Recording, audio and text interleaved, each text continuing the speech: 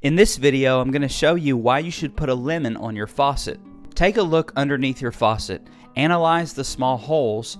Do you see white buildup? This buildup is called lime scale. It's also called mineral buildup, calcium buildup, or even calcification. Whatever you decide to call it, it builds up over time and clogs those small holes, making it difficult for the water to flow smoothly.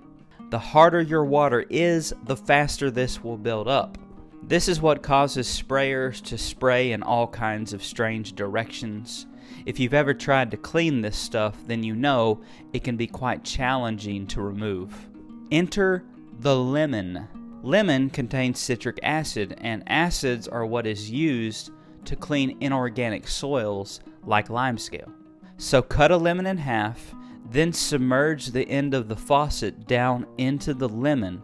After you have set the lemon in place on the faucet, use a rubber band to hold it so it doesn't fall off. The idea is that you want the end of the faucet to always be in contact and touching the lemon. Leave the lemon on there for 30, 60 minutes. You may even need to leave it on there all night long depending on how bad your particular case is. During this wait time, though, that citric acid will loosen up all that lime scale buildup, making it super easy to clean and remove.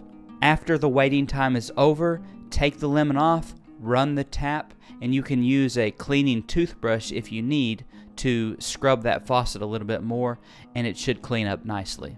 From this point, you can take your lemon, you can put it down in like a garbage disposal to freshen it up rather than just throwing it in the trash.